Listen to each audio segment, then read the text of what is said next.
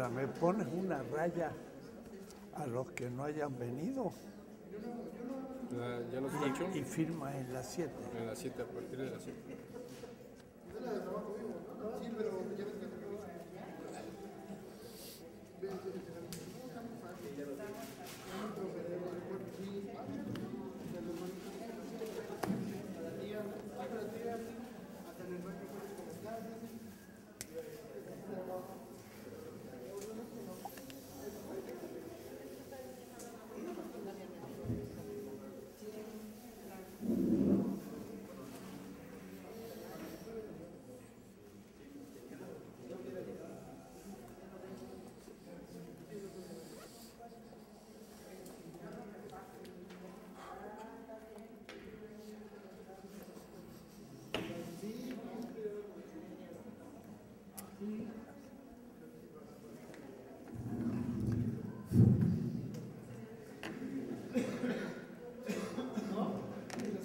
Se ve que a medida que la cuestión se vuelve más ardua, pues eh, hay menos quórum.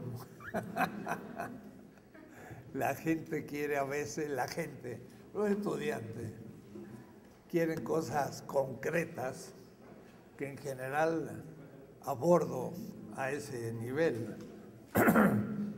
Pero a veces hay que elevarse a, los últimos fundamentos y las cosas son más abstractas. Y ahí huyen rápido los que buscan soluciones rápidas y no, hay veces que hay que hundirse en profundidades. Y la clase de hoy va a ser un poco especial en ese punto, porque eh, pensando en poner el tema Hegel y sobre todo de Schelling, y viendo la importancia que Schelling tuvo para Zizek y también para Santiago Castro Gómez, pues estuve repasando lecturas y logré ver cosas que no había visto en Schelling y por eso creo que llegué a unos pequeños descubrimientos que me muestran más el origen mismo del pensamiento que denominamos filosofía de la liberación. Su fundamentación es muy lejana y muy profunda. Se, se casi yo diría se enraiza, parte, donde uno ya pierde pie y se transforma en el misterio. Van a ver ustedes ciertos temas que son propios del idealismo alemán y que nos van a servir para repensar también el pensamiento latinoamericano, pero a un nivel no habitual. Quiero, como la vez pasada, primero leer algún texto que nos sitúe y después ya entrar al tema de hoy, que querría abordar elementos de la dialéctica hegeliana y ojalá si puedo empezar a tocar el tema Schelling, que va a ser muy importante para repensar el punto de partida de los post-hegelianos, aún Marx, y el pensamiento latinoamericano, que de algún punto de vista también es post-hegeliano. Yo he dicho siempre que los post-hegelianos de izquierda, que son un, un grupo importante, pero que fueron animados o dinamitados por la crítica de Schelling a Hegel, es la como prehistoria de la filosofía latinoamericana de la liberación. Esa generación se emparenta a nosotros. Entonces hay que entender esta época y creo que he hecho un- una introducción en mis lecturas de estos días que me ha transportado a, a ciertos niveles de abstracción en que vengo ahora envuelto. Así que eh, como quien viene un poco desde lo alto y vuelve a la cotidianidad para explicar cosas, pues me veo así en este momento. Quiero, sin embargo, como les digo, situar de nuevo el tema, el tema analéctico. Voy a referirme a la página 183 en adelante de Para un método de la filosofía de la liberación. Debo decirle que ese librito, la edición primera fue esta, allá por 1974, pero está en la página y la pueden tener ustedes como si fuera hoy, sin ningún gasto además económico. Es más profundo de lo que parece. Y releyendo el texto, me digo, hacha, ¿habrá habido algún alumno mío que lo ha leído? Creo que uno o dos lo han hecho. Entre ellos quizás Pedro Enrique García Ruiz, pero no muchos más. El texto está interesante, hay que sacarle pluma, lápiz y leerlo muy despacio y a veces leyendo también las referencias a las que hace el texto. No es fácil, pero está duro. Hablando del el método analéctico, después del capítulo sexto de Para una ética de la liberación, que acaba de ser reeditado en siglo XXI, después de 40 años, como les decía, el capítulo 6 es sobre el método. Pero este libro lo escribí al mismo tiempo, pero también después. Entonces es una nueva reflexión sobre el método. El movimiento del método, para que nos situemos donde nos encontramos, es el siguiente. En primer lugar, el discurso filosófico parte de la cotidianidad óntica, cotidiana, y se dirige dialéctica y ontológicamente al fundamento. Es Heidegger. Partimos de los entes y vamos al fundamento. Pero ahí ya aparece una palabra importante, fundamento.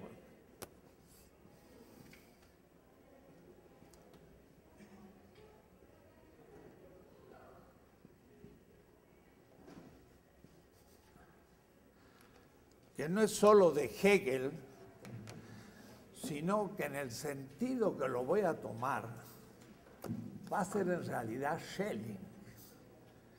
Y Heidegger, cuando en Ser y Tiempo habla de fundamento, lo toma también de Schelling, al cual le dedicó dos largos semestres sobre estos temas, allá por el 1919 y 20, es decir, ocho o nueve años antes de Ser y Tiempo, donde va a hablar del fundamento.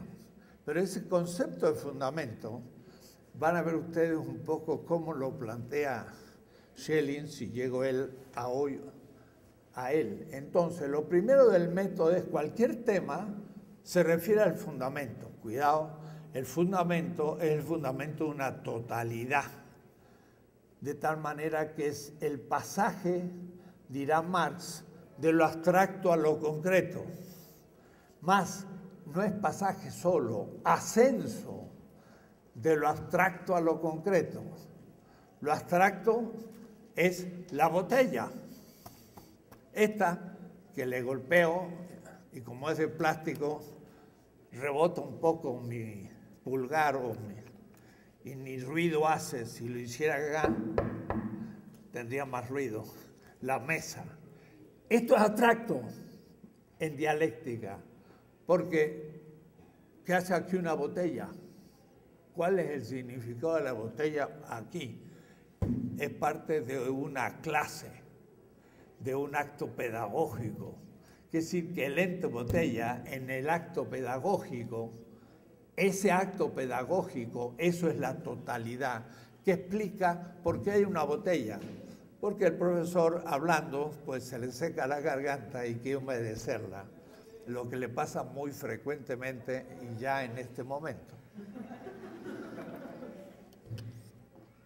Eso es el pasaje de la botella en abstracto, hay muchas botellas, pero a lo concreto es el uso este que se le da a la botella, que no es lo mismo que si se arma un incendio con el agua apago el fuego y seguiría apagador. O como digo a veces, si un alumno se distrae, le tiro la botella para que se despierte y sería entonces un acto de bondad para que no pierda la clase. Entonces, la botella puede tener muchos sentidos según las totalidades en las que se encuentra. Ese es el primer momento del pasaje. El segundo momento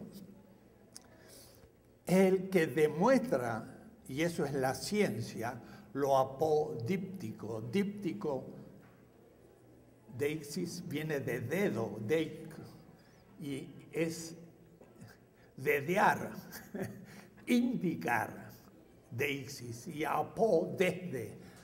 Apodixis significa demostrar.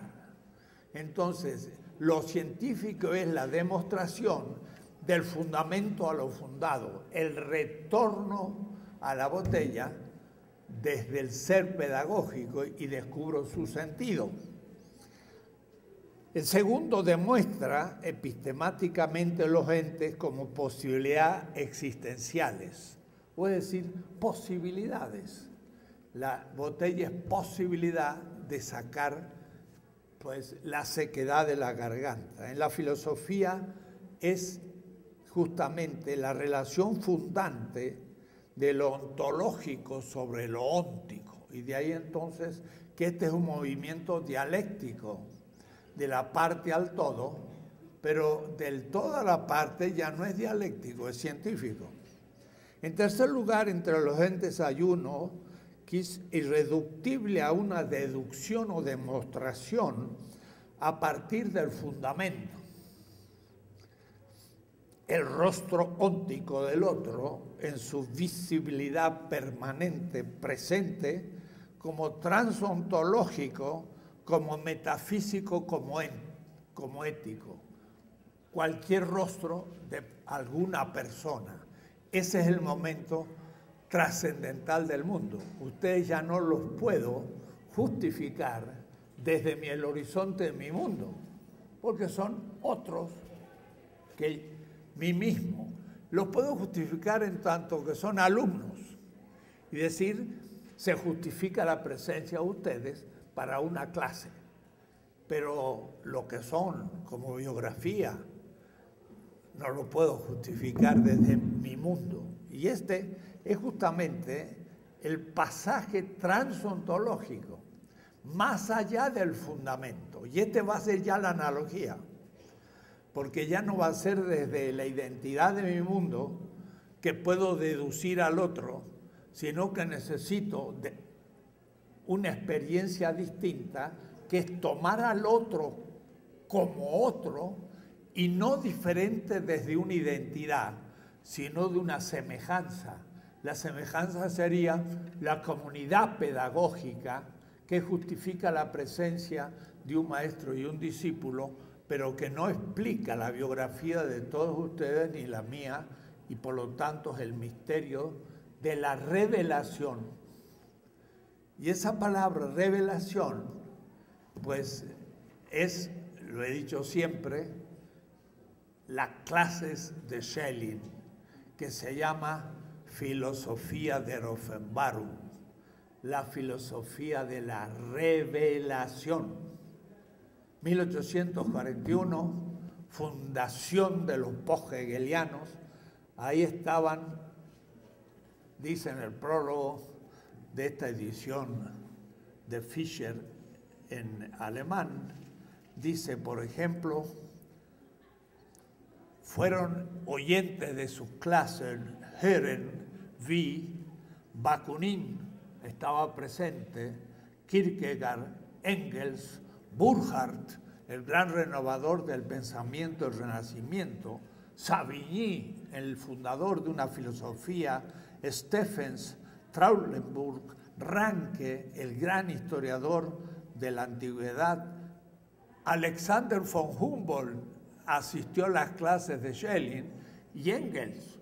Y Marx estaba en, en Berlín, como siempre yo digo. Quizás ese día pues no fue a las conferencias de Schelling, porque estaría entretenido en tomarse una cerveza por ahí, pero estaba en Berlín. Y ahora hoy, ahora hoy, encuentro nuevas semejanzas del pensamiento de Marx con Schelling, de cosas que he nombrado, pero releyendo a Schelling, he visto más todavía semejanzas en el fundamento de Marx que no había visto hasta ahora. Bien, esa experiencia del otro que se revela en mi mundo, filosofía de Rofenbarro, que no tiene nada que hacer con una mera revelación del otro. Pero Hinkel, eh, Levinas va a tomar el concepto de revelación. Y yo mismo le pregunté, ¿y tiene algo que ver con Schelling?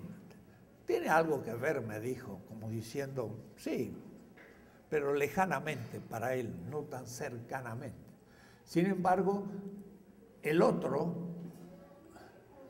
no como la botella, se revela, mientras que la botella se manifiesta.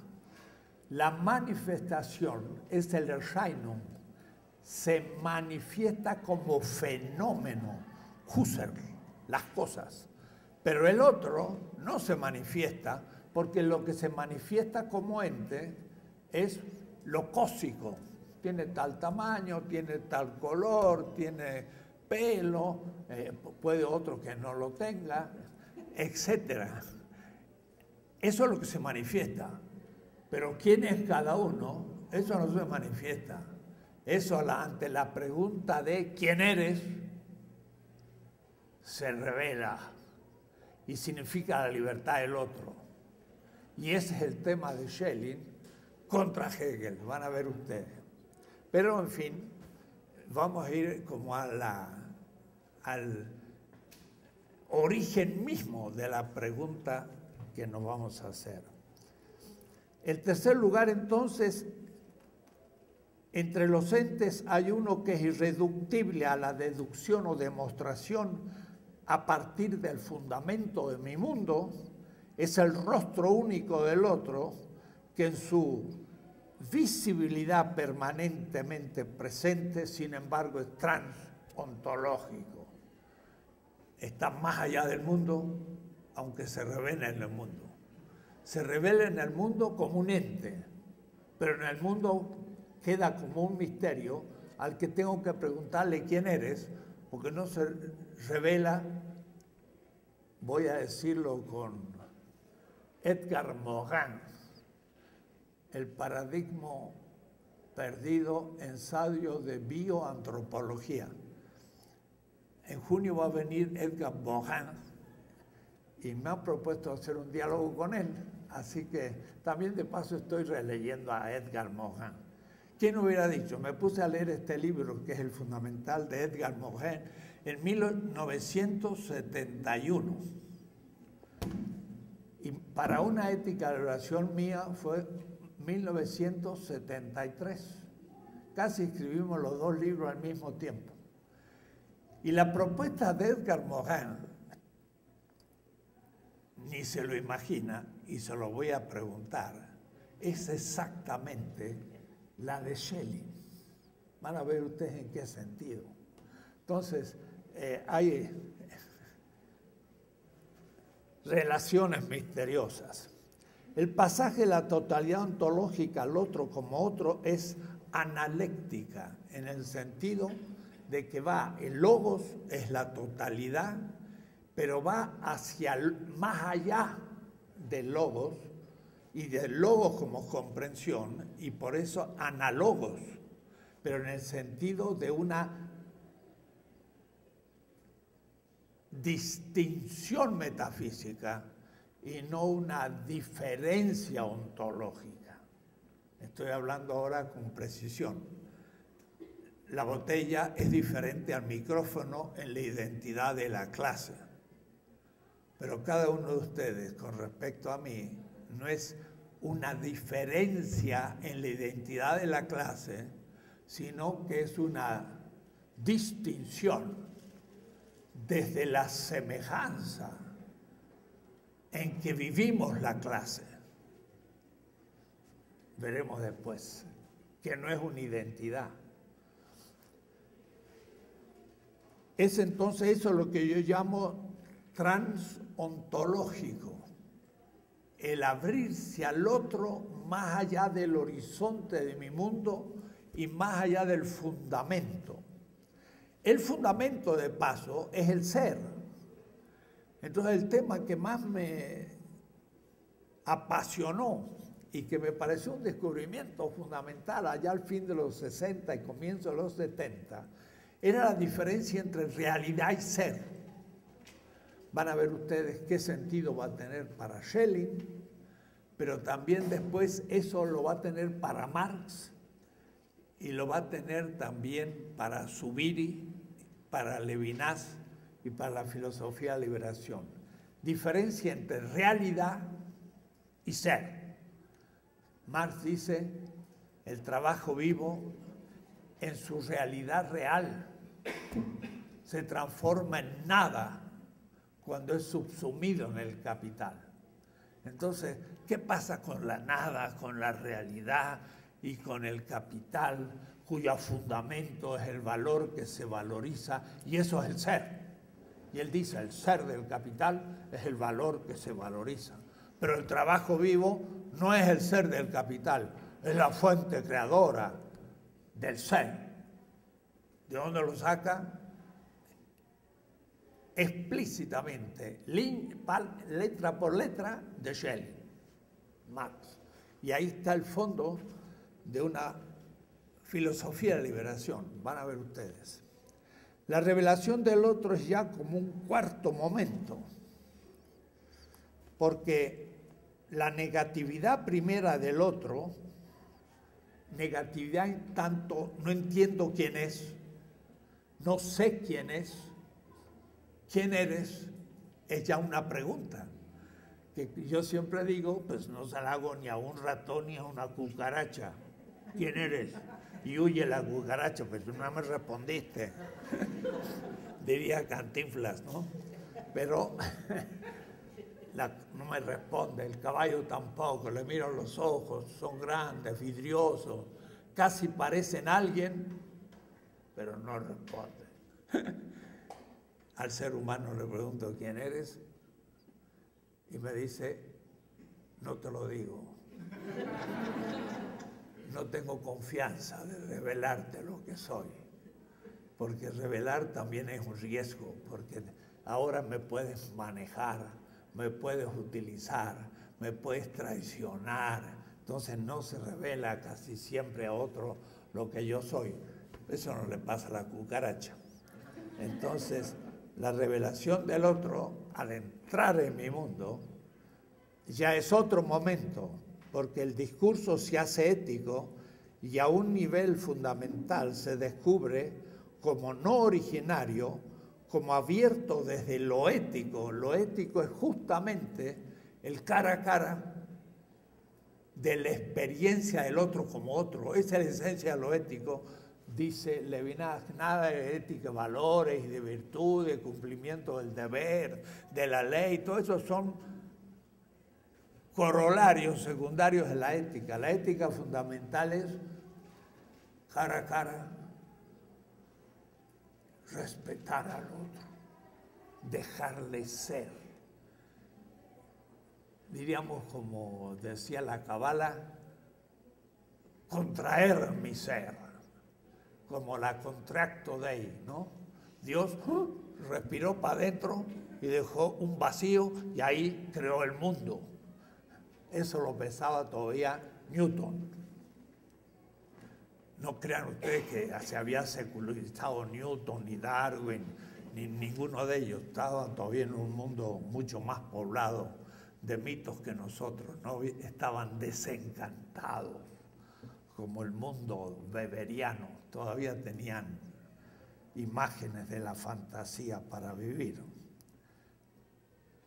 Debo dejar un lugar al otro para que se revele. Y esta revelación del otro pone en cuestión al que recibe el impacto de esa revelación, porque ahora me hago cargo también del misterio del otro. Esta revelación del otro es ya un cuarto momento, porque la negatividad primera del otro, simplemente porque es otro, más cuando es un pobre o alguien destituido de su dignidad, es una negatividad mucho más fuerte, ha cuestionado el nivel ontológico que es ahora creado desde un nuevo ámbito. Puede decir, la interpelación del otro me sitúa a mí ahora como responsable ante él porque me ha hecho el don, me ha hecho el don de decirme quién es. Y por lo tanto ahora soy responsable también de su existencia si es una experiencia auténtica. El discurso se hace ético en el nivel fundamental ontológico, se descubre como no originario, como abierto desde lo ético, que se revela después como lo que era antes. Porque el otro alumno es también el otro, madre mía y padre, que estaban antes que yo y, también la comunidad que me anticipó en mi lengua y en mi cultura y en todo, de tal manera que de pronto me doy cuenta de que no sería nada si no fuera por el otro.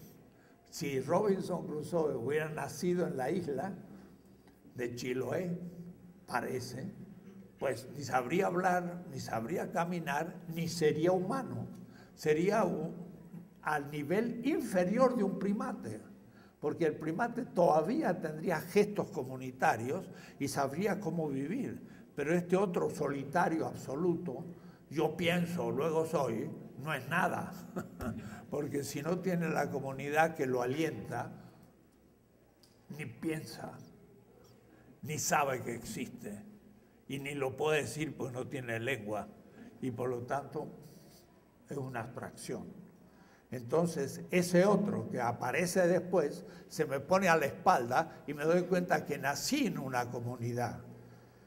El quinto momento es el nivel óntico de las posibilidades que juzgando y relanzando desde el fundamento éticamente restablecido, cambia la realidad. Y estas posibilidades como praxis analéctica traspasan el orden ontológico y se avanzan como servicio en la justicia. Es el momento en que, responsable por el otro, tengo ahora que cambiar el mundo y hacer otro mundo. Y ahí terminó el método. Porque cuando ya tengo otro mundo, es el mundo punto de partida y puedo volver a entender formalmente todas las situaciones posibles porque se encuentran en algún momento de esta diacronía. Lo propio del método analéctico es dialéctico porque paso de una totalidad a otra, pero movido desde la interpelación del otro, que es analógico y no dialéctico el otro. El otro surge desde la distinción y no desde la diferencia la identidad. Lo propio del método analéctico es que es intrínsecamente ético primero, porque si yo no acepto la palabra del otro, me reafirmo como totalidad y la totalidad se cierra como pretensión, porque en realidad nunca se puede cerrar del todo, sino se pretende cerrarla, y eso es la totalización de la totalidad, y eso es el mal tema que va a estar al fondo de Schelling y mal planteado por Schelling y por Hegel y por Kant y por toda la modernidad. En eso ni Schelling apunta, aunque buscando el tema de la libertad y el mal, nos va a descubrir una cantidad de cosas interesantes, pero al fin la solución no va a funcionar, porque quiere buscar el, tema del mal en su fundamento, en el ser, y por último en Dios mismo. Y lo que pasa es que ahí no se encuentra el origen del mal. El mal es algo más simple y más evidente.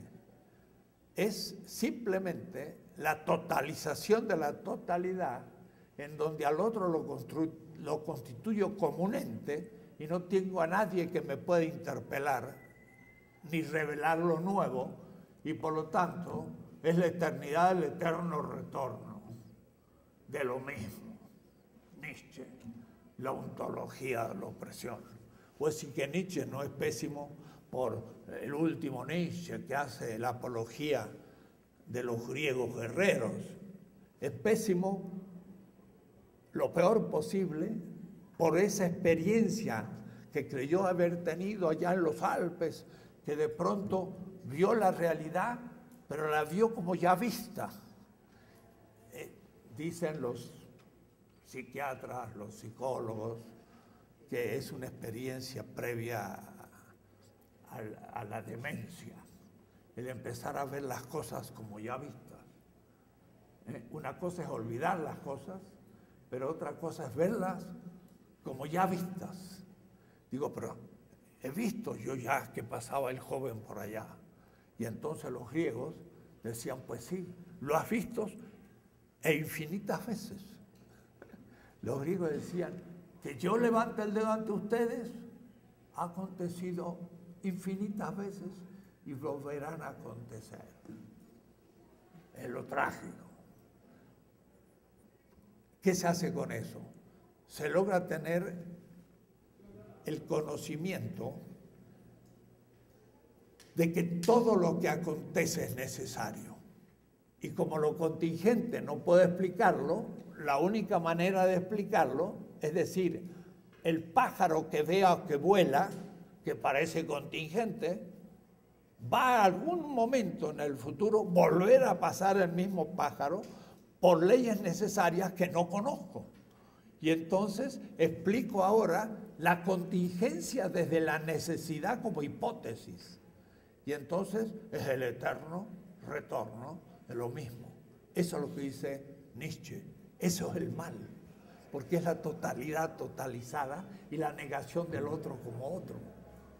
Entonces, eh, lo notable que me hundí estos días en todo el problema del origen del mal,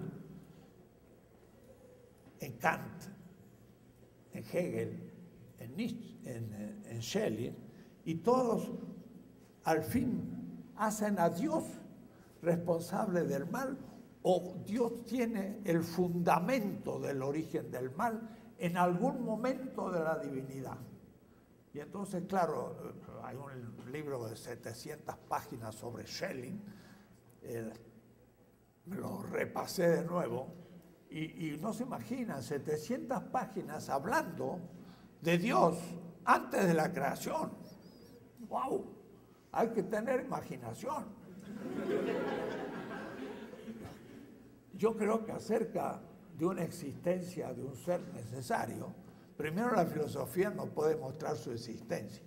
Y si lo supusiera como postulado, lo primero que diría es acerca de el infinito y de lo perfecto, absoluto, no puedo decir nada, sino por analogía y por lo tanto perder tiempo en estar haciendo analogía. Pues no se imagina, Shelley se la pasa años hablando de Dios, antes de la creación, pero con una cantidad de sutileza que uno queda, la verdad, mareado al final. Pero voy a hacerme referencia a la más fundamental de ellas para entender la cosa. Pero se le escapa el mal concreto. Y el mal concreto es mucho más simple de lo que se piensa. Es justamente la sustitución de la analogía por la identidad. O es decir, en vez de aceptar que el otro es otro que mí, que yo, porque es libre, Claro que la libertad es un problema y es el problema de Schelling. Yo lo subsumo en la totalidad como algo interpretado desde el fundamento de mi mundo. Y cuando quiere manifestar algo distinto de lo que yo he previsto, pues lo reprimo o aún lo elimino. Y entonces el sistema se cierra y el que no cumple la ley va muerto. Y eso es el totalitarismo, la totalización totalitaria de la totalidad. Eso es el mal. La negación de la libertad del otro. Mientras que para, esa filosofía totalitaria, ¿en qué consiste el bien? En la definición de Hegel. Es el cumplimiento de la particularidad de las exigencias de la universalidad. O es decir, hay que cumplir la ley. Yo particular tengo que cumplir la ley universal. Y eso es el bien, soy bueno. Y viene Hinklamer dice, eso justamente es la amartía por excelencia. Amartía, en griego,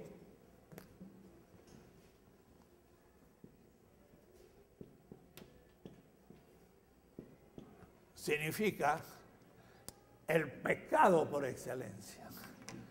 El mal como excelencia es el decir, el bien consiste en cumplir la ley. Ese es el pecado máximo. ¿En qué sentido? En que si la ley es injusta y yo no tengo un criterio superior a la ley, voy a cumplir la ley aunque mate al otro. Y de ese pecado no tengo culpa, ni tengo conciencia de culpa por cumplir la ley. Y por lo tanto es el que no tiene perdón, porque no voy a pedir perdón de un pecado del que no tengo conciencia.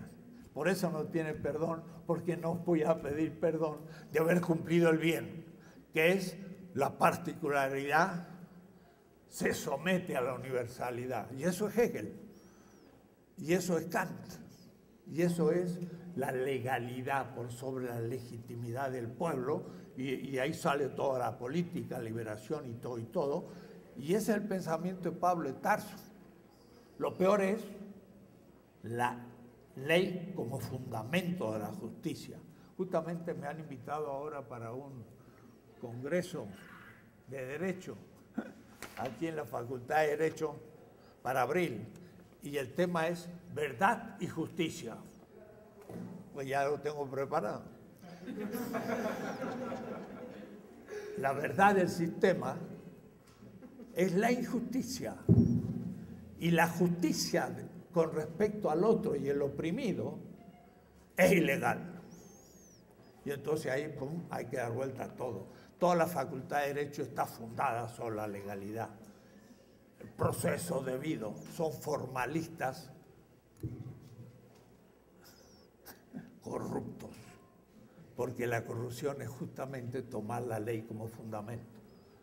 Y por eso que es puramente formal y el, abogado litigante no pregunta primero al que viene a pedir defensa, no le pregunta sinceramente y ante mí que lo voy a defender. ¿Tiene usted conciencia de culpa? Eso nunca le pregunta al abogado, sino que le dice, ¿qué pasó? Lo voy a sacar. ¿Cómo? Con el proceso debido. Como el proceso debido es complicadísimo, yo puedo mostrar siempre que el proceso no fue debido. O es decir, que como no se cumplió la ley, que es el fundamento, el acto es bueno.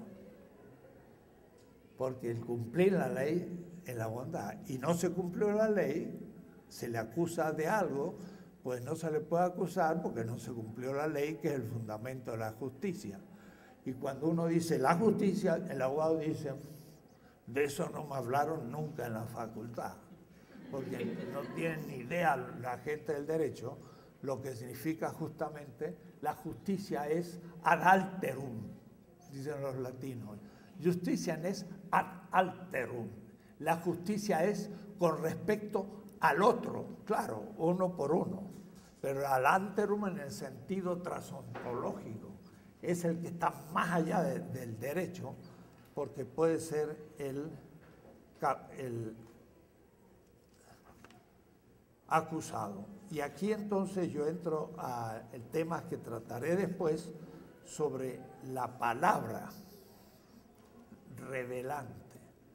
Y un tema que no había visto y que no está en la teoría de la analogía es la diferencia entre el, logo griego como palabra, que se dice que es unívoco y análogo, y la palabra semita y también egipcia, dabar. En imprenta sería así, dabar. Y en hebreo moderno se escribe así, dabar, dabar. Porque la palabra en el pensamiento semita es la palabra revelante, pero es una palabra práctica y es una palabra creadora. No que conoce solo, sino creadora. Y ya hago un esquema aquí en la página 185 de cómo el logos, que es el fundamento, que significa hablar y calcular, termina por ser la racionalidad y la teoría en el pensamiento griego y moderno. En cambio, en el pensamiento semita, la dabar, la palabra, parte de la libertad, y esa va a ser la intuición de Schelling, que, que revela algo o manda, y, por último es la acción que la cumple, creadora. Entonces la palabra revelante no simplemente informa, sino que es una palabra realizadora que transforma al que recibe la revelación. Tiene otro significado. Y por eso entonces que la palabra semita ya es analógica ella misma y no el logo griego de la identidad diferencia.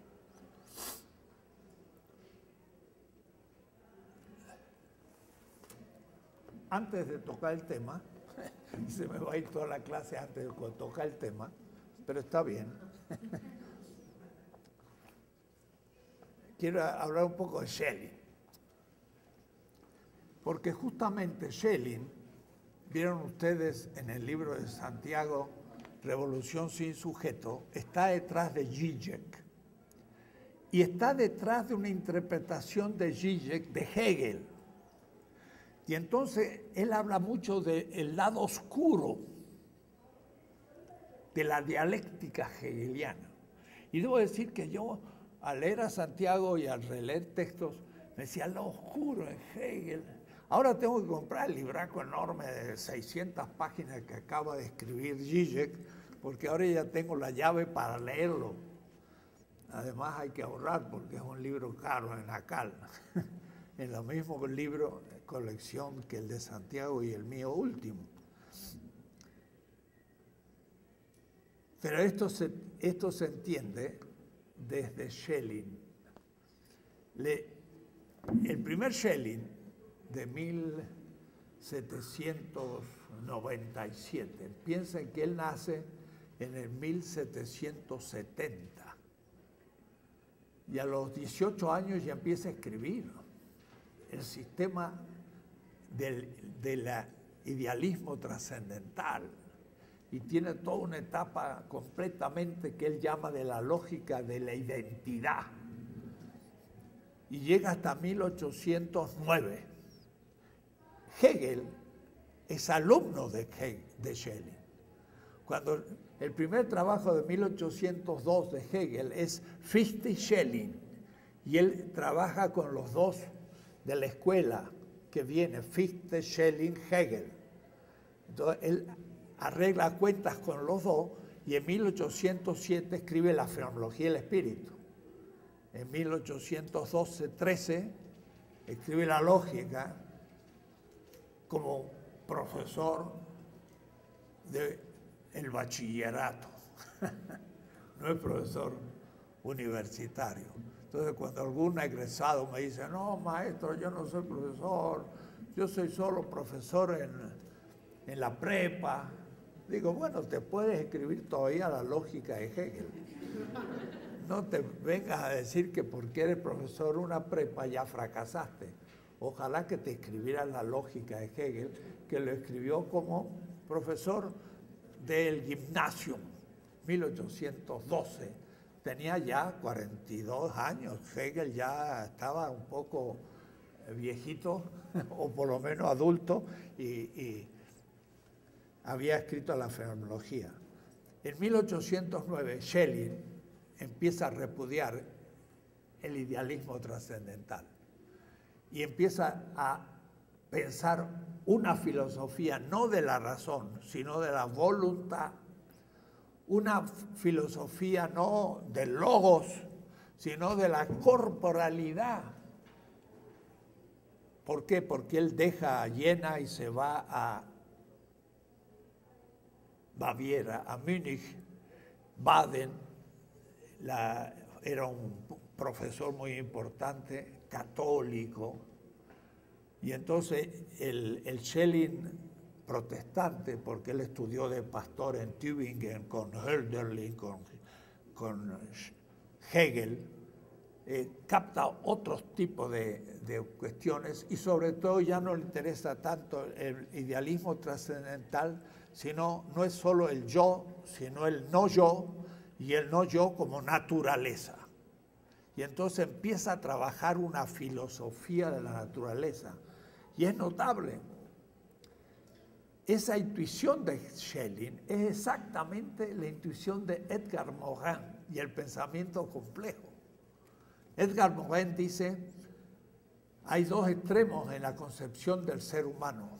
Uno, el naturalismo, que dice animales, la realidad y el ser humano. El ser humano es una cosa distinta. Entonces hay como un naturalismo que absolutiza la diferencia entre la animalidad y el ser humano y un antropologismo que cree que el ser humano es completamente distinto de la naturaleza. Y entonces el, gran mensaje de, de Morin es mostrar cómo el universo llega a ser la vida en la Tierra y cómo la, la vida se va a evolucionar hasta llegar al ser humano y cómo el ser humano sigue teniendo todas las etapas de la evolución en su ser actual. Y entonces el cerebro es el centro justamente del manejo del ser humano. Me sentí muy identificado con Morin, porque ustedes han visto que yo, por ejemplo, digo la verdad, es la actualización cerebral de lo real. Y, la existencia entonces de la verdad o de la representación es neuronal, no intencional, como diría Husserl, medio materialista. Bueno, esa es la manera que habla Morin, pero también es la manera que Schelling empieza a plantear.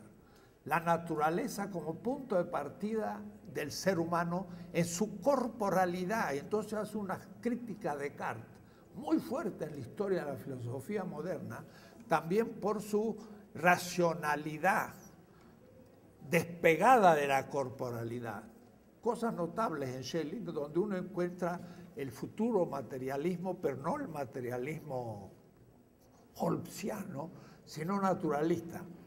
Cuando Marx dice hay que naturalizar a la humanidad y, y hay que humanizar a la naturaleza, es prácticamente hablar con las palabras de Schelling. Pero él entonces descubre que el tema fundamental del ser humano no es tanto la racionalidad como la libertad.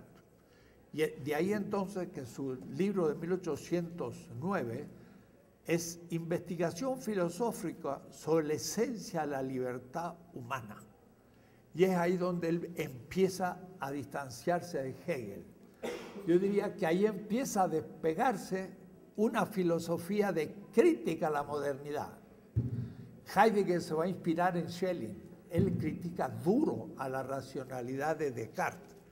Muy interesante. Quiere decir que es como el bisabuelo de nuestra crítica a la modernidad, la hace Schelling. Y lo hace desde una afirmación de la corporalidad.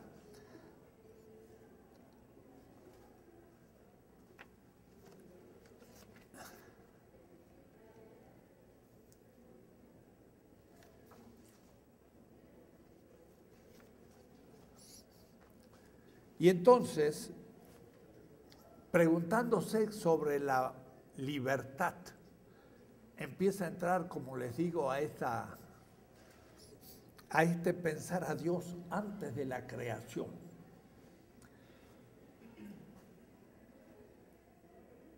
Puesto que no hay nada anterior o exterior a Dios, este debe tener en sí el fundamento de su existencia.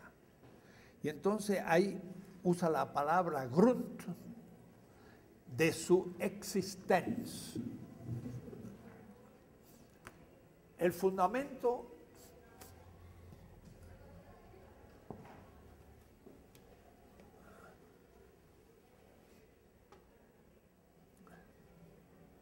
de su existencia.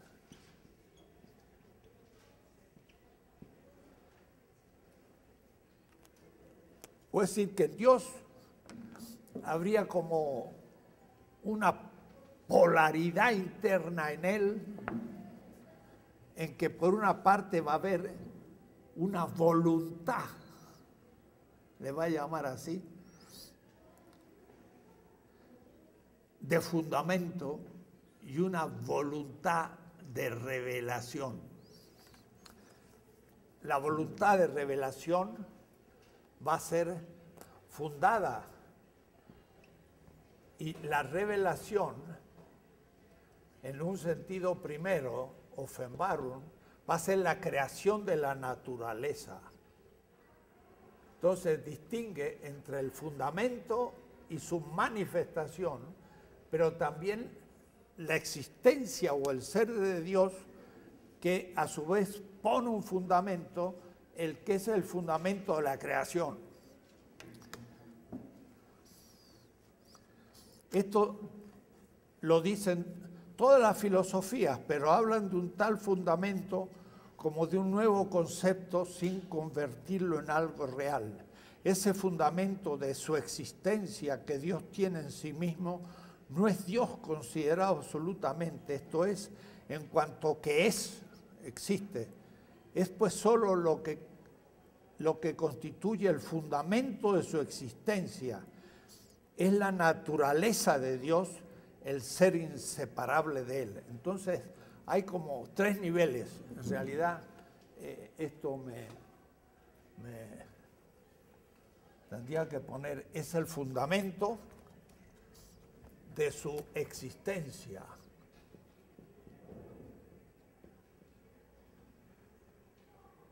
La existencia no es el fundamento y el fundamento se revela, se manifiesta en el universo como naturaleza.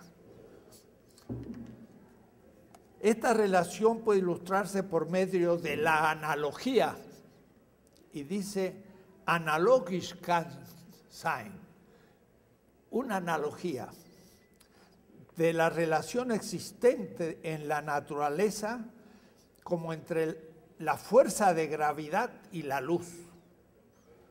¿Sabe que los huecos oscuros se llaman así en el universo? Huecos, hoyos oscuros. De pronto entra una estrella y entra en un remolino y desaparece y es oscuro, no se ve nada. Bueno, quiere decir que la gravedad se chupó la luz.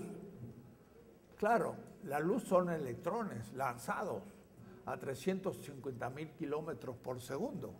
Y, y mire, ya tenía Schelling un poco la idea de que la gravedad y la luz tienen que ver.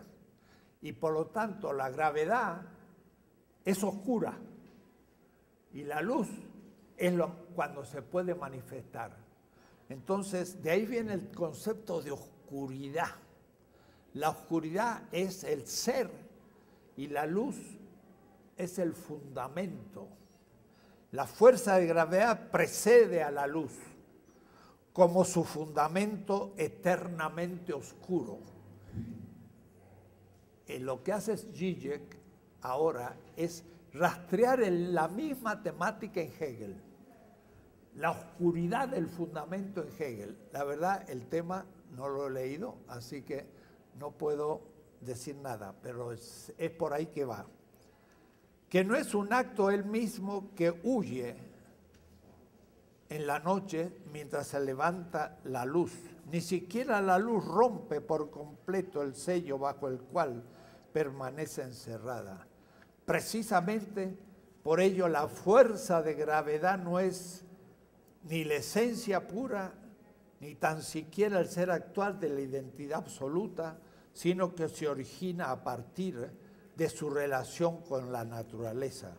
La naturaleza es, por tanto, todo lo que yace más allá del ser absoluto, de la absoluta identidad. El fundamento va a ser el ser. La naturaleza no es el ser, pero la existencia de Dios no es tampoco, es Él mismo. Él mismo no es su fundamento, aunque su fundamento también es Él mismo porque es eterno y se autodetermina. Pero Él distingue entre el ser mismo de Dios, el ser como fundamento y las criaturas fuera de la existencia de Dios.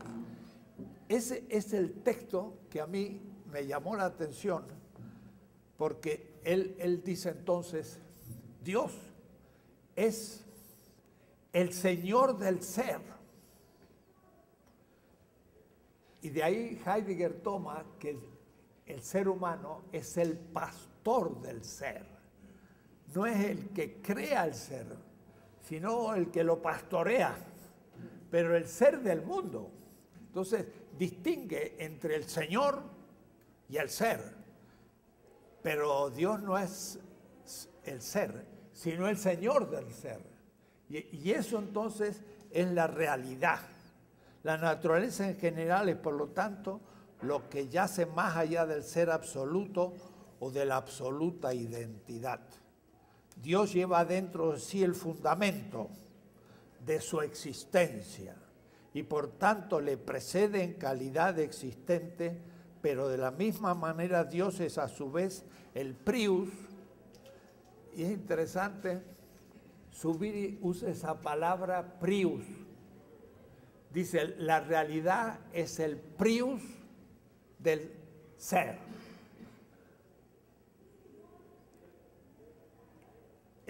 Dios como es el prius del fundamento, en cuanto que el fundamento como tal tampoco puede ser si Dios no existiera como acto. Bueno, y, sigue entonces eh, hablando Hegel, una, eh, Schelling, una cantidad de cuestiones.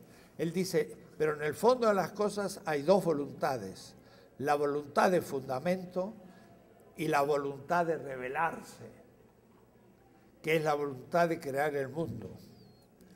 Y, entonces arriba hay una autorrevelación y abajo hay una revelación ad extra. Y esa revelación ad extra termina por ser las religiones en sus mitos y hace una reinterpretación de el cristianismo como un mito, como una revelación de Dios, etcétera, etcétera es complicado. Tendríamos que realizar más de un semestre sobre Schelling y no creo que lo haré, pero sería interesante porque ahí es donde vislumbré en el origen todas estas cosas, porque este hecho de que hay alguien que es más allá del fundamento es lo que yo siempre manifiesto, que si el mundo tiene un fundamento que es el ser, en el sentido de Heidegger, el mundo, que es la totalidad, el otro es el que se revela en el mundo. Y en cierta manera el otro es el señor del ser. Y eso es exactamente lo que hace Marx, porque además más adelante va a decir que el Dios es la fuente, que en alemán es Quelle, que, Dios es la fuente del ser, que es el grunt, y que está debajo de la creación. Y, y Marx va a decir exactamente lo mismo. Va a decir, el trabajo vivo es la cuele creadora, Shefer y del ser del capital. Y el ser del capital es el grunt, pero no es lo mismo cuele que grunt, no es lo mismo cuele que grunt. Y, y grunt no es lo mismo que ente creado. Y el ente creado es el plusvalor, por ejemplo, es un ente, pero el ser es el valor que se valoriza. Y el valor que se valoriza es creado por el trabajo vivo que no es el ser del capital, sino que es la fuente creadora que es subsumida desde la exterioridad en el capital como totalidad. Schelling, completo. Y lo digo yo a los círculos marxistas a más alto nivel en Estados Unidos y demás, se me quedan mirando y saben lo que digo, y nadie me ha respondido hasta ahora. Nadie. y, creo que es inevitable. Marx leyó Schelling, pero no tenemos ninguna cita. No he leído algo sobre Schelling en Marx, pero es notable la presencia terminológica. Entonces, quiere decir que en el pensamiento de Marx también está la analogía porque entre el capital en el cual hay un trabajo asalariado y el trabajo vivo, hay una distinción analógica de algo común.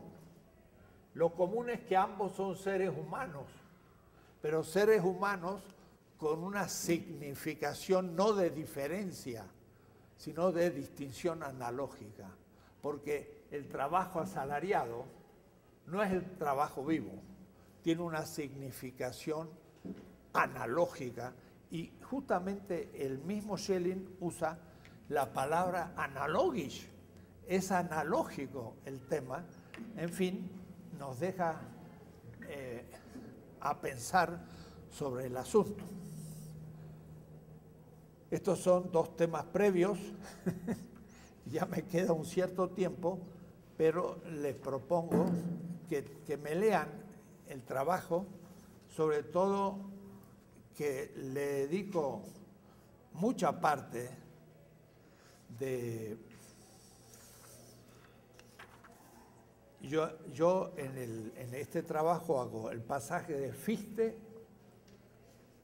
de Kant, no, antes, de Kant, Kant, Fichte, Fichte, Schelling. Schelling, Hegel. La dialéctica del absoluto como autoconciencia en Schelling, el primer Schelling. Dije que había nacido en el 70, no. Hegel nace en el 70, Schelling en el 75 y muere en 1854. Mar, eh, Hegel 831. Quiere decir que Shelley le sobrevive 23 años a, Hegel y, le hace la crítica durante esos años.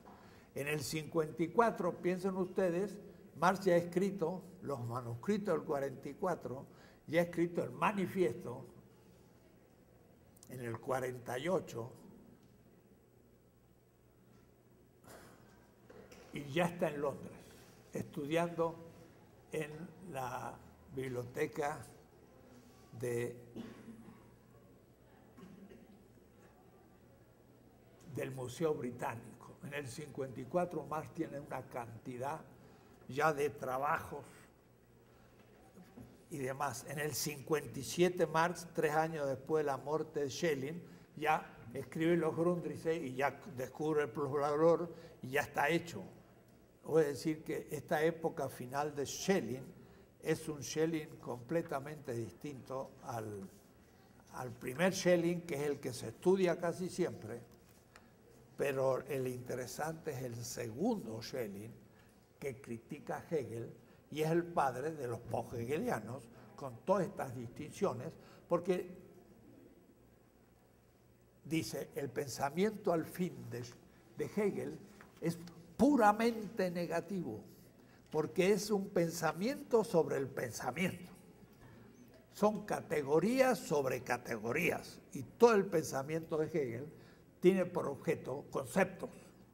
Y, entonces la crítica de Feuerbach va a decir, ha perdido la realidad, se ha olvidado de la existencia concreta y, Kierkegaard le va a decir, Hegel está en la etapa especulativa de los conceptos, primera etapa, segunda etapa, hay que tomarse en serio los principios y se pasa a la etapa ética. Pero la tercera parte de, Kierkegaard es ahora el sujeto que surge, como Stirner, el sujeto que ya no interesa su razón, sino la fe. Pero ahí está el tema de la fe en la revelación. Y por lo tanto es la fe en la palabra del otro, que es la fe kantiana, no una fe puramente religiosa. Entonces Kierkegaard es también un post-hegeliano schellingiano. Marx va a partir exactamente de Schelling. Los manuscritos del 44 va a ser una descripción del ser humano por sus necesidades. Bueno, esa va a ser la intuición de Schelling, la corporalidad como expresión de la naturaleza y por lo tanto como voluntad. O es decir, un Schopenhauer y se anticipa a, a Nietzsche. Bien, pero Hegel va a ser fiel al primer Schelling y va a quedar en ello y lo va a rematar, diríamos así. O decir, eh, Hegel si tiene algo de positivo, que, que no tiene ninguna conversión como Schelling, sino que sigue sobre la identidad hasta su muerte. Y, y todo lo que hace es el desarrollo de la primera etapa de Schelling en sus dos obras fundamentales que son en realidad tres, pero dos. La primera, fenomenología del espíritu. La fenomenología del espíritu es también una obra dialéctica como Descartes, pero que va hacia adentro, hasta llegar a la autoconciencia absoluta de Dios mismo. No traje la fenomenología, pero al final del, séptimo momento de regresión al absoluto, al fin el yo se descubre consigo mismo como el yo absoluto. Y entonces él usa la palabra, es el haberse vuelto sobre sí. Pero en alemán, er innerum, er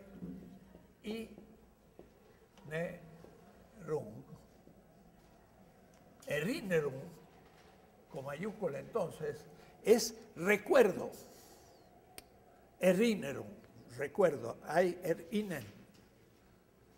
Pero al mismo tiempo, er es ir hacia adentro, porque inner es lo interno. Entonces, al final dice, el yo que partió de lo empírico ha ido yendo hacia adentro hasta se reconocerse en el ego cogito de Descartes completo, pero ahora absoluto, como Dios antes de la creación. Por eso que ese es el tema del, idealismo alemán. Es decir, que parte de lo cotidiano en el mundo, pero en vez de ir hacia el horizonte del mundo cotidiano de Heidegger, va de la conciencia perdida y cotidiana empírica se va metiendo hacia adentro hasta llegar al yo como absoluto. Y ese yo como absoluto es ahora entonces el punto de partida del despliegue de la lógica. Porque ese yo absoluto, esa subjetividad absoluta, es el ser. Y por eso que esto es una crítica a Hegel. El ser no es el fundamento, no es el última instancia del absoluto. El absoluto en el sí mismo, en su existencia, está detrás del ser como fundamento. En cambio, Hegel parte de aquí y no de allá. Por lo tanto, para Schelling es un panteísmo a lo Espinosa. Y él, en cambio, intenta hacer algo muy distinto. Debo decir que esto supone todo un pensamiento filosófico de una teología secularizada. Entonces, para muchas veces nuestros filósofos puramente seculares que tenemos, pues no entienden nada lo que está diciendo esta gente, que tenía un ímpetu tremendo y tomaban al cristianismo, lo secularizaban y lo hacían filosofía. Y, por eso Walter Benjamin va a volver a eso. Y casualidad yo me metí en el pensamiento semita y lo intuí desde el comienzo. Y entonces digo, en el pensamiento semita encuentro la primitiva historia de América Latina. La otra viene por los pueblos originarios. Y ahí entonces encontré una clave que me hizo entender muy pronto todo esto, pero de otra manera aún que Schelling y presagiando lo que después Walter Benjamin va a descubrir porque justamente lo mesiánico de Benjamin va a ser la interpelación del otro que entra en, en el mundo como ruptura de la totalidad, interpelación ética y movimiento del sistema hacia un nuevo sistema. En la revolución es lo mesiánico y es el mesianismo materialista de Walter Benjamin. Se entiende perfectamente, no tiene ninguna metáfora como piensan algunos aquellos de la teología y demás. No hay nada de metáfora, hay tomar en serio todas estas cosas. Pero si leen despacito esto, van a ver cómo se presagia lo que va a venir. En el parágrafo 11, entonces yo hablo de la dialéctica como movimiento involutivo propedéutico, porque tenemos que llegar al comienzo de la filosofía, de Anfang, el comienzo. Y el comienzo es, como para Descartes, llegar al yo indubitable, pero no a través de la duda, sino a través de una deconstrucción de todos los momentos de la conciencia que además Hegel, siguiendo de alguna manera las mismas intenciones de Schelling, lo hace a través de la historia. Porque Schelling hace un recorrido como egológico, psicológico, pero también va viendo lo, griego y lo trágico hasta llegar a los románticos y llegar al descubrimiento del yo absoluto. Hace una historia del, universal, eurocéntrica, por supuesto, pero historia al fin. Entonces, lo genial de Hegel es que introduce la historia en toda su reflexión metafísica. Otra coincidencia conmigo, que yo mezclo la historia, mezclo, mal dicho, tomo a la historia como la propedéutica de la conceptualización. Y por eso mi primer conferencia, mi primer semestre como profesor fue América Latina en la historia universal. Eso era un manifiesto y lo sigo pensando, aunque esa historia se fue cambiando completamente, se fue llenando de muchos matices y cada vez que la rehago descubro nuevas cosas y entonces pues eh, se entiende mejor. Entonces, la fenomenología es propedéutico. Y es también el pasaje para el joven Hegel de su formación teológica como pastor. Él estudió teología en Tübingen, a filósofo, amateur, diría yo, al comienzo, y después ya se desata, diríamos, en el idealismo alemán y, hace una filosofía como teodicea increíble, porque realmente eh, cuando lo ve un poco Kierkegaard desde, desde Copenhague, que de paso en un congreso que estuve en, Copenhague me compré dos tomazos sobre el hegelianismo en Dinamarca. Er, era la escuela fundamental en Dinamarca desde, desde el 1818 hasta el 30. Realmente Hegel se hizo el, gran filósofo en Dinamarca y había toda una escuela hegeliana totalmente hegemónica y, Kierkegaard no, no, estaba de acuerdo. Y cuando escuchó las clases de Schelling, ¡uh! entró en, en, la crítica a Hegel en el post cristiandad. Hegel no es cristiano. Propone una cultura y un sistema como totalidad, que es la cristiandad. Y, eso surge en el siglo IV, cuando el cristianismo crítico va a ser fundamento del imperio. Entonces la crítica religiosa de Kierkegaard es exactamente igual a la de Marx.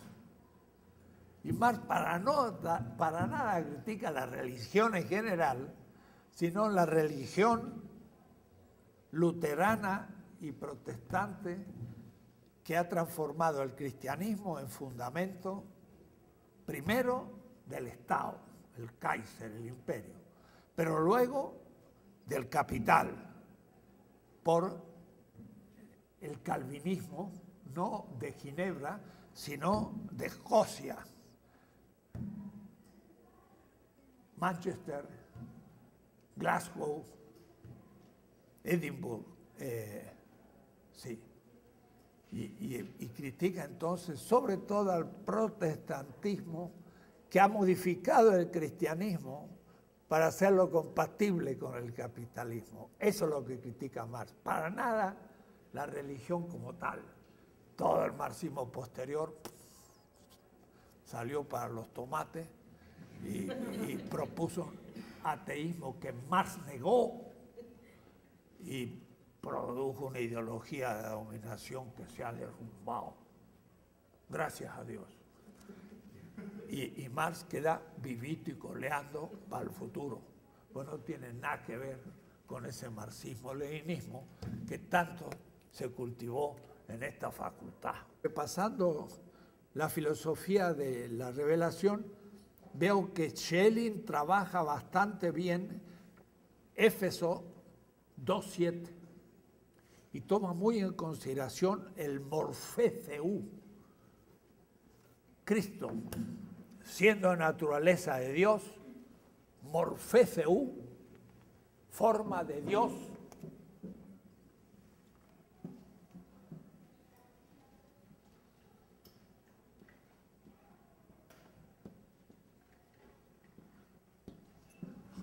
Cristo, siendo de naturaleza de Dios, se alienó a sí mismo, sé.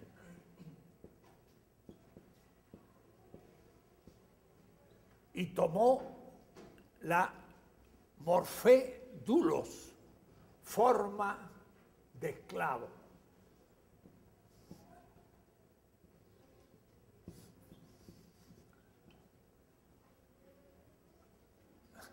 Marcel Grund dice, el primer paso propedéutico de Hegel, la fenomenología del espíritu, el, el método dialéctico como idealismo subjetivo, porque va hacia la conciencia y llega a la autoconciencia. Y ese es el movimiento dialéctico de la fenomenología del espíritu. Ustedes pueden leer esto aquí pues largas páginas, un poco como me gustaba a mí hacer en esa época, allá en los 74 que sale este libro, todo citadito en las obras clásicas, con el alemán y todo. Entonces me decían, oh, este que se cree, se cree muy sabio, por eso si no, depende de los traductores y los traductores, cada uno, traductores, traditores, dicen. El traductor es traidor. Hay que leer en sus lenguas y entonces esto ya se sostiene. Bien, estas son muchas páginas sobre la fenomenología y después la dialéctica como movimiento circular del absoluto, que es justamente la lógica. La lógica, escrito por el Hegel joven, del 12 al 13, eh, tenía, bueno, 42 años ya, pero profesor fracasado de una, de una prepa.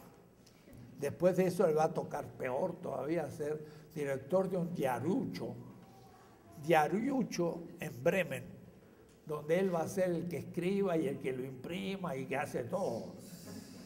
Y, tenía ya toda la familia a su costilla, porque todos se colgaban de él y el pobre tenía que alimentar a la familia, pero no tenía buen salario, en fin. Lean usted la vida del pobre Hegel. Por eso él dice, como fue durante dos años periodista y editor de diario y todo, dice, la lectura del diario es como los maitines del hombre contemporáneo. ¿no? Los maitines era la oración que los monjes hacían a las 4 de la mañana antes de la aurora, los trapistas. En la noche que empieza el día, oraban. Y eso se llama los maitines, la mañana, maitines mañana. Entonces decía Hegel, la lectura del diario cada mañana es como los maitines del hombre contemporáneo. ¿Por qué? Porque para él la historia era de Heilsgeschichte, la historia santa, porque la historia era la del desarrollo de Dios mismo. El ser humano es el desarrollo de Dios. Y esto también lo tiene Schelling. Nos tomaban con mucha dignidad. ¿no? Somos la autoconciencia del universo. Y por lo tanto, si la naturaleza es la expresión de Dios, Dios mismo toma conciencia en nuestra historia. Y es una historia teológica o teodicea. Y por eso que leer el diario es descubrir cómo se va desarrollando la existencia de Dios. Qué visión tenía de las cosas aquella gente. Eh, que haya un Trump o Trump pues es parte del oscuro en Dios, del mal, cuyo origen en él habría que explicárselo cómo es posible. Yo creo que hay otra manera, y uno de ustedes que no está aquí, pero que ha hecho la tesis sobre Molina, eh, también se explica muy bien. La gran polémica en España en el siglo XVI sobre la libertad humana va a ser el tema de Schelling, la libertad. Pero ahí es, pensada en España. Y los jesuitas están a la base de la discusión de la libertad. ¿Cómo el ser humano puede ser libre si hay un Dios? Si Dios no admite que su obra pueda ser destruida, quiere decir que el ser humano va como un títere aceptar los designios de Dios y la historia va a culminar felizmente y entonces el ser humano no es libre. ¿Cómo hacerlo realmente libre? Es la posibilidad del mal y eso es Leibniz que plantea el tema en la Teodicea. ¿Cómo es posible el mal? Para Schelling es Dios, en que su esencia está en el oscuro fundamento de la posibilidad del mal para el siglo XVI, es la libertad humana. Pero la libertad humana, ¿cómo se piensa si yo creo en un Dios que, cómo corrijo cuando la historia se me va de la mano? Y dando libertad al ser humano y no constriñéndolo a que cumpla con mi designio, que sería la nanque griega, el destino obligatorio y no libertad, ese es el tema del reino y la gloria de Agamben.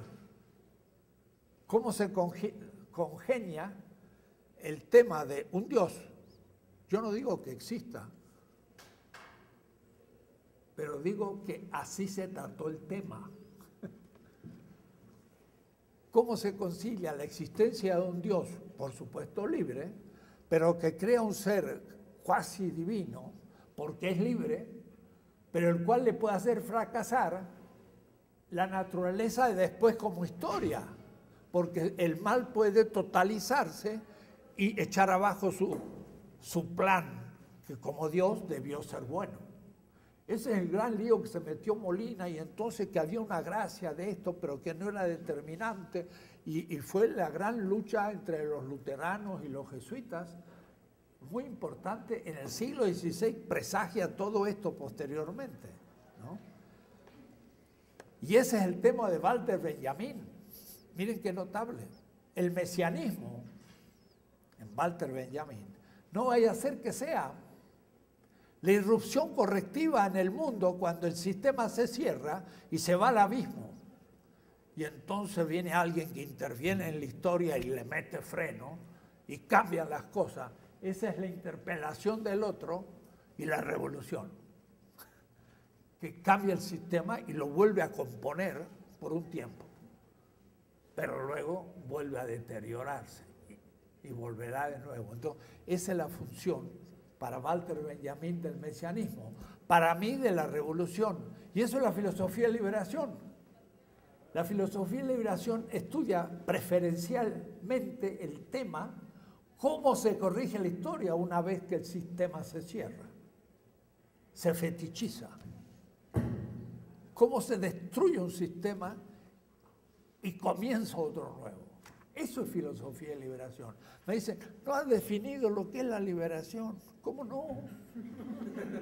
Eso está ontológicamente fundado, mucho antes que, todo.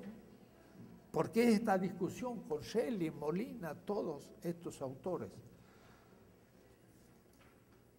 Esto digo para que ustedes vean que hay que ir muy al fondo, como diría Wittgenstein, hasta que la pala se dobla. Ya después cuando se dobla ya no podemos seguir cavando. Yo no me meto a Dios antes de la creación, ni siquiera me meto con Dios. No lo niego ni lo afirmo, filosóficamente lo dejo ahí. Pero hago una filosofía antropológica a la liberación. Pero me, me critican de teólogo. Bolívar me criticaba de teólogo. Stefan Gandler me dice teólogo. Y bueno, a Hegel ni hablar, y a Schelling, mire, Luis han dicho requete, teólogo. Pero a Levinas también le dicen teólogo. Y sin embargo, si usted lee en la parte filosófica, fuera de los primeros obras, Dios está fuera. ¿Por qué? Porque con la libertad humana tengo suficiente misterio para hacer la cosa debo decirle que es más complicado demostrar la existencia de la libertad humana que la de Dios. Más complicado. ¿Cómo es que somos libres? La verdad que no sé si alguna vez la humanidad lo podrá solucionar. A medida que avanzo me vuelvo más estático ante este misterio. ¿Cómo es que podemos ser libres? Bueno, Hegel entonces lo que va a hacer en la lógica, que después en el 18 va a ser la enciclopedia de las ciencias filosóficas. Miren qué cosa, le pone el plural a ciencias filosóficas. No le llaman la filosofía, a la ciencia filosófica.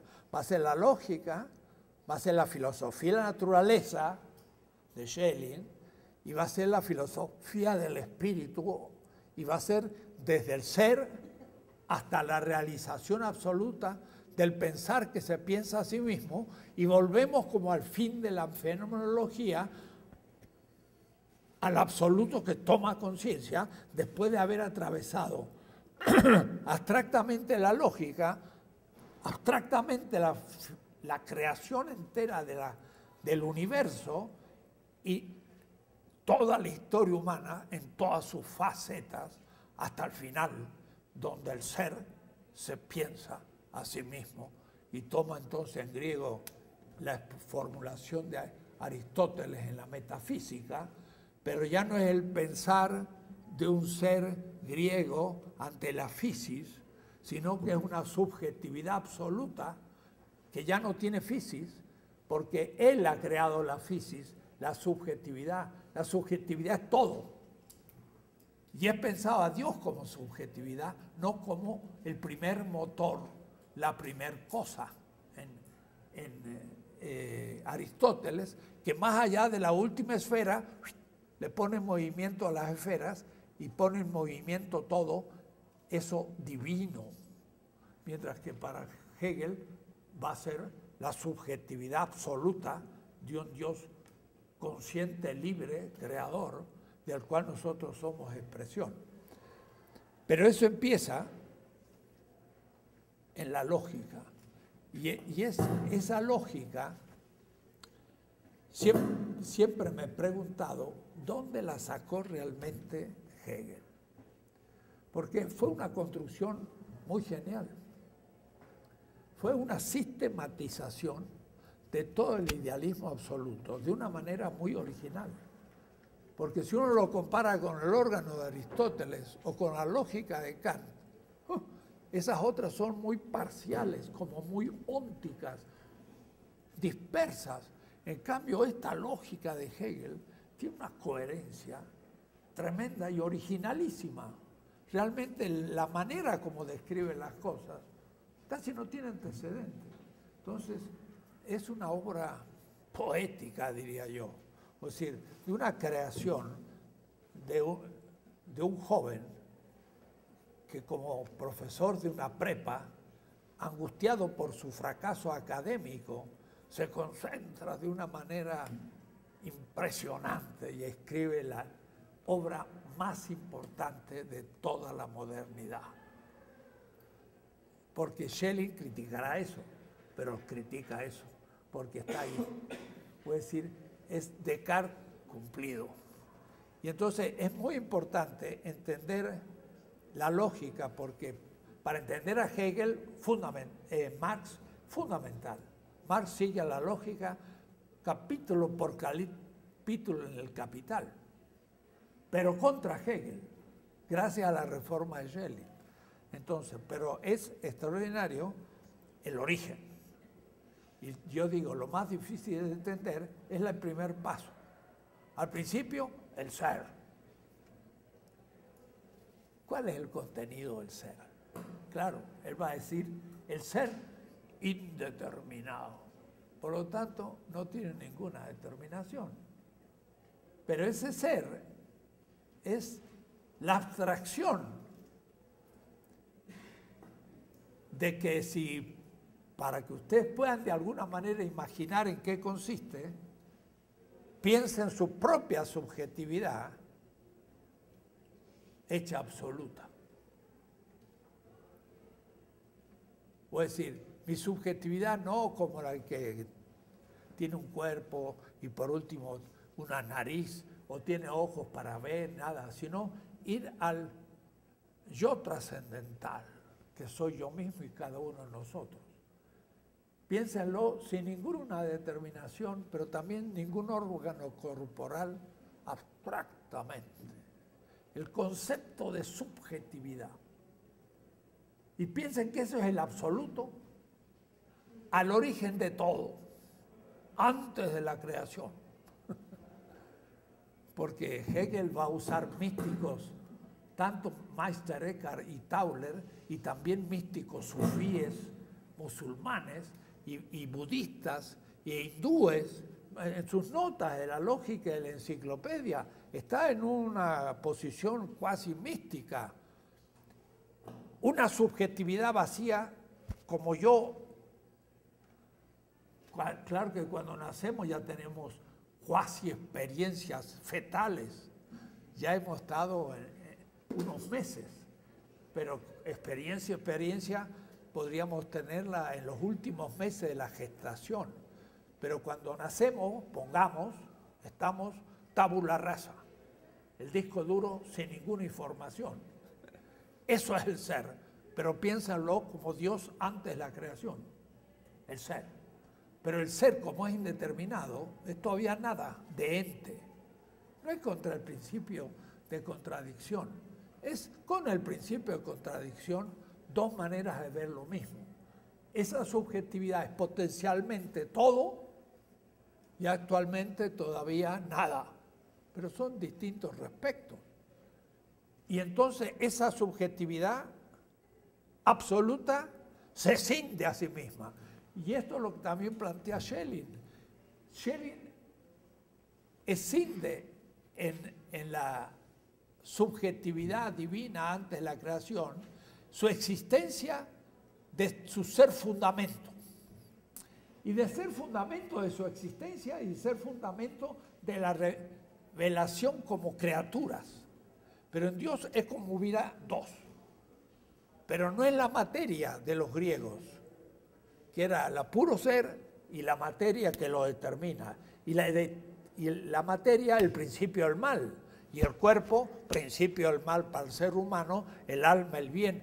Quiere decir que lo pensaban en los dioses, Plotino, y lo pensaban en el ser humano, y el mal entonces era divino el mito adámico contra Gilgamesh dice, el mal no es divino, es humano. El ser humano es el libre. Hay que buscar en, la libertad humana el principio del mal. Y por eso no es lo trágico de Prometeo que cumple el destino de los dioses y los dioses son injustos. Quiere decir que el mal es de origen divino, sino que Adán es tentado. Y la tentación son dos libertades. Y yo puedo aceptar la tentación o no, porque soy libre. Y porque soy libre, acepto la tentación y caigo en el mal. Pero entonces el, el mal es humano, no es divino. La simbólica del mal, Paul Ricoeur. El libro de mi vida, porque fue las clases de Paul Ricoeur cuando yo llegué a la Sorbona en París. Justo ese libro, se llama, yo creo que en castellano en siglo XXI se llama La simbólica del mal, no, eh, no sé cómo se llama en castellano, pero es el mito de la tragedia griega y de la dramaticidad semita. Debo decir que Hegel, Kant y también Schelling son todavía griegos, porque el origen del mal está en Dios. Y por lo tanto, como ser humano, soy libre, pero ya determinado. En cambio, mi filosofía de liberación es dramática, no es trágica. La de Santiago Castro Gómez es trágica. La de Grüner es trágica. Y hay muchas que son trágicas. ¿Qué significa? El mal no, depende de mi, de mi ser. Ahora debo decir que como el mito es un mito, tiene doble sentido y entonces exige una hermenéutica. Mire, el otro día un gran hermeneuta en Costa Rica, que de paso formó parte de socialistas en Chile, es un gran hermeneuta, me dicen, mira, la interpretación que el otro día hicimos en un grupo, una comunidad popular, sobre el mito adámico. Adán estaba en el paraíso. En el paraíso se le dijo, puedes hacer todo lo que quieras, pero tienes que cumplir con una sola ley. No comerás el árbol de la vida, de paso se llama de la vida. Porque si comes del árbol de la vida, te creerás Dios. Y ahora sabrás lo que es el bien y el mal. Eva tomó la manzana que sale ahí en la manzana mordida como sexualidad y no tiene nada que ver. Y se la da Adán. Oh Eva, origen del mal. No, no, dice él. Empecemos la hermenéutica como debes. El paraíso era el paraíso de la ley. Era un falso paraíso de un sistema fetichizado, donde Adán se le dice, tienes que cumplir con la ley. Pero además, como que le revela sin querer, si comes del árbol de la vida, devendrás como Dios y sabrás el bien y el mal, lo cual es muy positivo. Eva no cumplió con la ley, porque la ley no es el fundamento de la justicia. Y se lo dio a Adán. Y Adán no cumplió la ley, mordió la manzana. Se vino abajo el paraíso fetichizado y entraron en la historia de la, de la libertad. El paraíso era el fetichismo de la ley. Y Eva, la que liberó a Adán de la obediencia a la falsa ley. ¿Qué les parece? Una interpretación magnífica. ¿Por qué no va a ser la auténtica?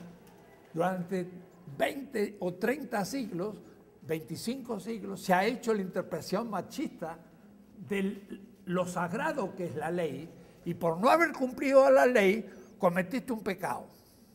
Pero era lo contrario. Había que saber no cumplir la ley para poder tener la sabiduría y ser como Dios, o es decir, libre. Ah, fantástico, digo, esta sí es la interpretación correcta. ¿La cuenta? Y es tan válida como la otra, mejor dicho, realmente válida, porque fue la liberación de la ley y el mal tiene origen en el ser humano y ahora es libre.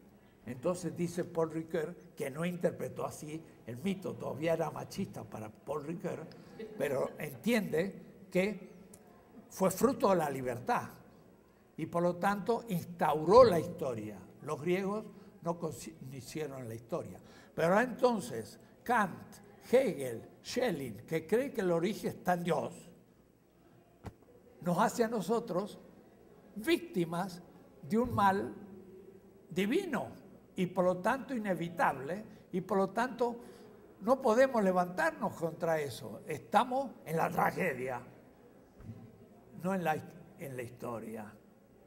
Eran todavía modernos, el propio Schelling. ¿Se da cuenta? Porque admitió que el mal era un presupuesto de la existencia humana. Mientras que si decimos no, somos nosotros los que cometemos el mal, somos nosotros los que podemos tener perdón por nuestras faltas y podemos instaurar un sistema mejor, bueno, no trágicamente malo, porque es inevitable la maldad, porque es divina. ¿Se dan cuenta? La ética entera va a surgir distinta desde una lógica de la identidad la ley hay que cumplirla y el que no cumple la universalidad, elevando su particularidad, es malo. No. Es bueno el que eleva su particularidad ante una universalidad fetichizada y falsa e injusta. Y eso es el Mesías de Walter Benjamin, el que rompe la ley fetichizada, sale del paraíso que era un falso paraíso, era el paraíso de la ley, donde la dominación reinaba y el ser humano era obediente. No cumpliendo con la ley, desaparece la ley y el ser humano es el fundamento de la nueva ley, pero él es el fundamento, no los dioses, es la liberación. La segunda es la interpretación del mito adámico en la línea de la liberación El primero, en la línea de la identidad. Bueno, temas.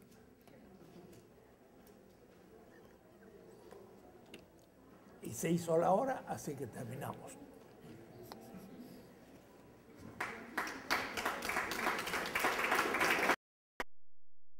Sí. A ver, espérate, voy a mirar cómo estoy el viernes.